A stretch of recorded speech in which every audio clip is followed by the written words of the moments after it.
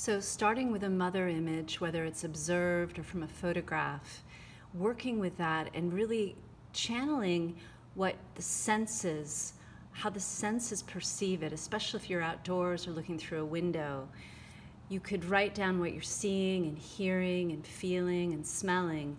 Maybe do a blind contour version of the scene where you're just looking, taking that and creating a simplified tonal image using a water soluble pencil or pen, really obliterating a lot of the line and going from linear to painterly.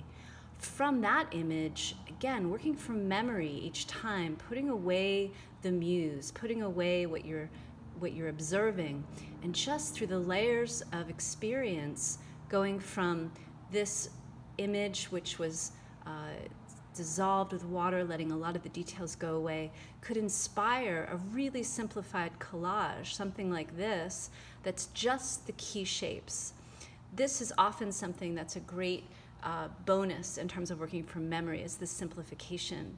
And one more step to this that might be interesting to experiment with is using the collage as a muse, creating a little bit of a drawing from just from the collage. You're not looking at your view anymore. You're just looking at the collage.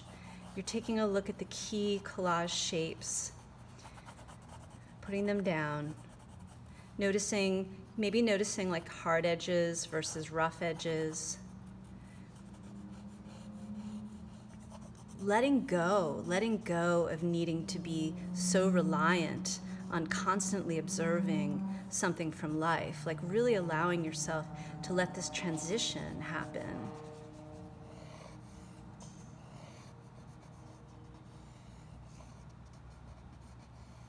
How memory gets built through layers of observation, and how simplification can be an incredible aspect of that process. All right, so now I've worked into this drawing, overlapping the collage a little bit, but that's okay.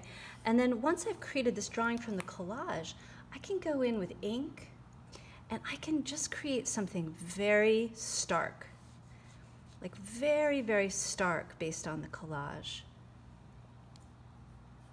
I'm just using an India ink here, just bringing in the key shapes. I'm losing the boundaries between the shapes actually.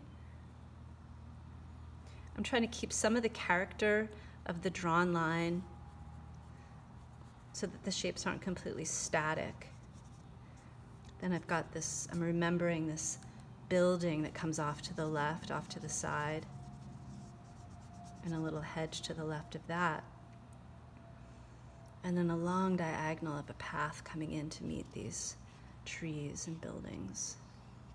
So, having this very simplified collage born from the simplified painting, which started with this observation of our from the senses, is a way that we can move from something quite detailed, something reliant on observation, to something born more from memory.